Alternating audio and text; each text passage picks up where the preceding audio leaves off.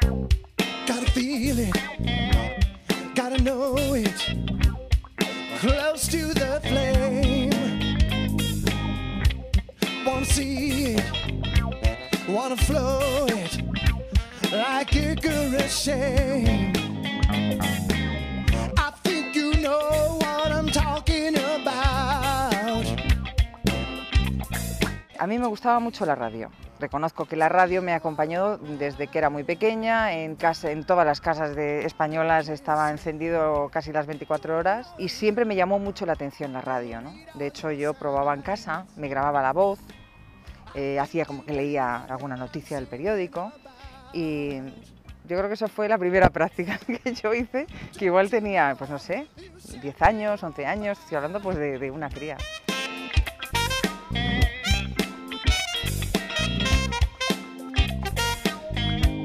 Creo que la radio me sirvió para eso, fue como una, no un trampolín, en mi caso yo creo que ni siquiera se puede llamar un trampolín, fue un periodo de, de- de experimentación, de conocimiento, de pruebas y luego me llevó a la televisión, me llamaron y empecé en Asturias, en televisión española, haciendo un programa de entrevistas con actores, con escritores, con pintores, con inventores, con gente que te llevaba las cosas más alucinantes que te puedas imaginar.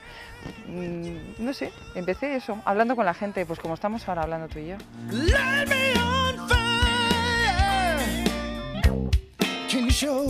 La televisión es imagen, sabemos que muchas cosas nos... en- Bueno, de hecho, en, en televisión las cosas nos entran por los ojos y eso puede reforzar el mensaje que estás dando o servir para todo lo contrario. Entonces yo creo que ahí... Yo no creo que dependa tanto de si eres eh, más guapo, menos guapo, más atractivo, sino de la capacidad que tengas eh, para comunicar y decir las cosas con credibilidad. Hay gente que puede estar en televisión que quizás no tenga eh, la credibilidad que se, l- se le debería de exigir y a lo mejor está ahí por otras muchas razones, ¿no? Creo.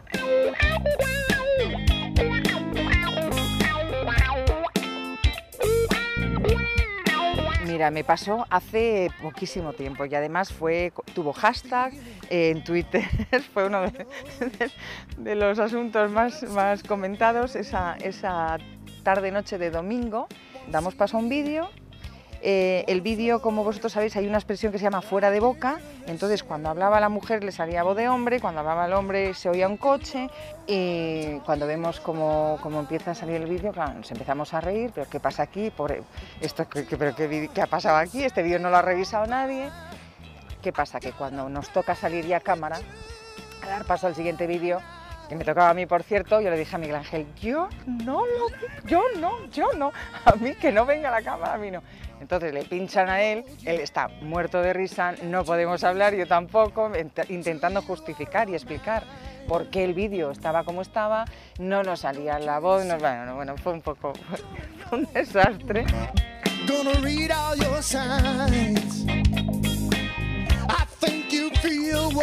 La pedagogía no, yo creo yo, la televisión no está para hacer, creo, ¿eh? los informativos yo creo que no están para hacer pedagogía, sobre todo cuando hablamos de temas tan complicados como la economía, ¿no? que no sé qué porcentaje de gente en este país lo entiende así de sopetón, a la primera. Yo desde luego no. Yo necesito que mis compañeros me lo expliquen. Y, mu- y lo, que, lo que tratamos es, a ver, explícame esto para que yo lo pueda contar de otra manera, que no sea repetir el primer párrafo de- del, del salmón del, del país.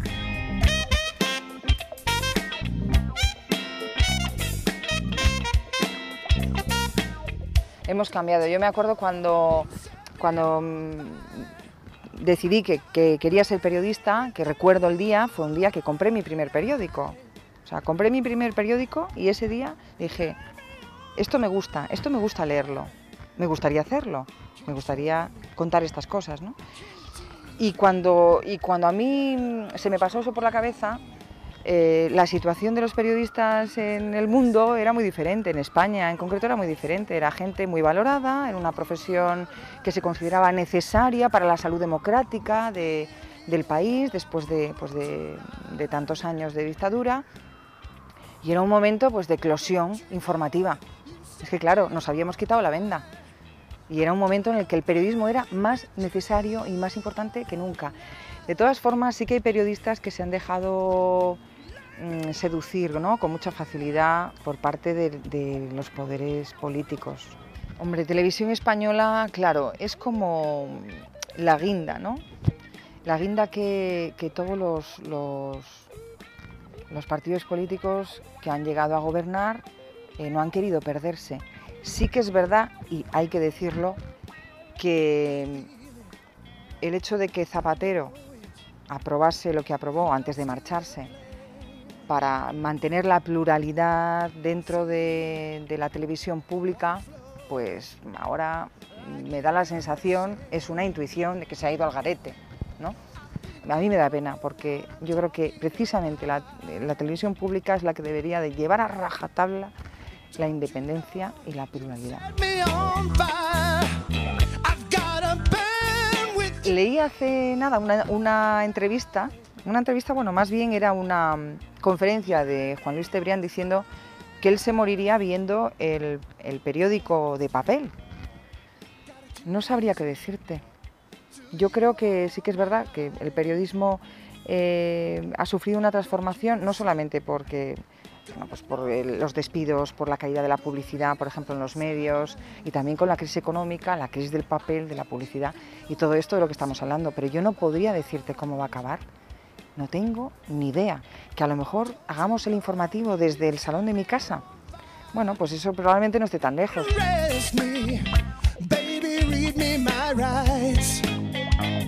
Ya sabes que, los periodistas nunca sabemos lo que va a ser de nuestro futuro en la siguiente temporada.